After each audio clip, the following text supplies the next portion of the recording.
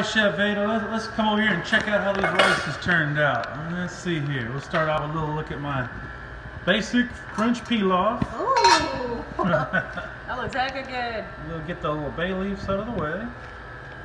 And again, like I said, it's not supposed to be a, a showstopper, the pilaf. It's going to have a good, you know, it'll be able to pick up that little bit of wine flavor, those onions, uh, that white wine. But look at the grains. That's what we like to see. Whatever pilaf version you're doing, you want to see your grains looking like that. Loose and fluffy. All right, so that's nice. Now let's go ahead and look at this showstopper over here. Oh, oh Wow. goodness. let's get, oh, get them bay leaves out of there. One there, was another. Oh my goodness. This is just looking good.